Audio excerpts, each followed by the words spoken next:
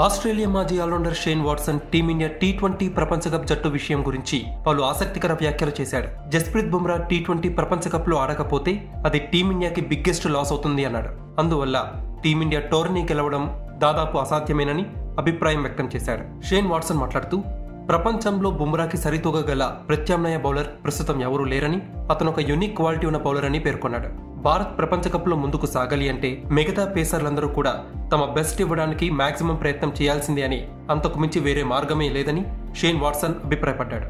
ఇక బుమ్రా గురించి ఓ బీసీసీ అధికారి ముఖ్యమైన విషయాలు షేర్ చేశాడు. జట్టుతోనే బుమ్రా ఆస్ట్రేలియాకు వెళ్తాడని అక్టోబర్ పదిహేనున అతని గాయంపై తుది నిర్ణయం తీసుకుంటామని తెలిపాడు. బీసీసీఐ స్పందిస్తూ బుమ్రాకి విశ్రాంతి అవసరం. అతని బ్యాక్ ఇంజురీకి రెస్ట్ ఇవ్వడం సరైన పని. ప్రస్తుతం అతను ఎన్సీఏ వైద్యుల పర్యవేక్షణలో ఉన్నాడు. ఫిజియో నితిన్ పటేల్ అతని గాయాన్ని దగ్గరుండి పర్యవేక్షిస్తున్నాడు. ఆస్ట్రేలియాలో కూడా బుమ్రా గాయం రికవరీ ప్రాసెస్ కొనసాగుతుంది. అక్టోబర్ పదిహేను వరకు వేచి చూసి ఆ రోజే తుది నిర్ణయం తీసుకుంటామని సదరు బీసీసీ అధికారి తెలిపాడు.